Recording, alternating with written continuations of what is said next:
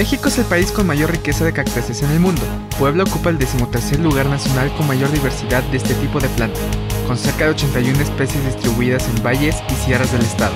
Sin embargo, muchos de estos ejemplares se encuentran en peligro de extinción. La principal función de la colección es contribuir un poquito a mantener estas especies que se encuentran, en muchas de ellas, en la norma oficial mexicana, en peligro, en riesgo, o ya muchas de las poblaciones están extintas. En la Escuela de Biología se imparten cursos sobre técnicas de cultivo, manejo, propagación, identificación y distribución de cactáceas y orquídeas, dirigidos a estudiantes académicos y público en general, interesados en el cuidado de estas especies vegetales.